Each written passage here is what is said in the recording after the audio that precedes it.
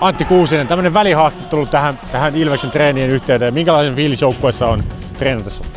Tosi hyvä fiilis on, että kaikki tsemppaa toisiaan ja hyvä fiilis on ylipäätään. Itse olet nuorena maalivahtina mukana kokeneiden veskojen kanssa. Minkälaista on ollut treenata Hilanderin, Mikan ja, ja Gustav Lonka, Lompakan kanssa No, yrit- ja Antti Kavenin valmennuksessa?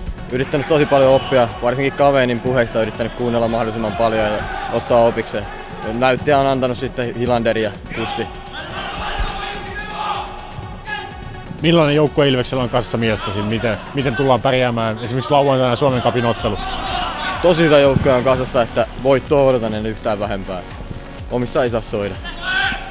Ja siellähän ei soi, kun siellä on, siellä on sä maalissa vai mitä? Ei ole kyllä mä nyt tällä viikolla maalissa. Mä menen ajunnojen peliin tällä viikolla. SM karsintoihin. Okei, kiitos paljon. Kiitos.